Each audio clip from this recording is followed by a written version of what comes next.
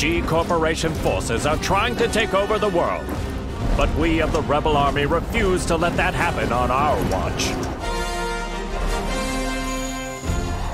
We've gathered state-of-the-art flying boats in good number. So too do we have the latest weaponry. One for you, and one for you too. There's plenty of fun to be had as well. You're certain to have the time of your life. Come, we want you to join the Rebel Army.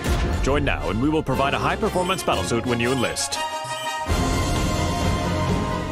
There's no need to worry about raids from GCO. We have reliable allies on our side. Captain Alisa Bosconovitch.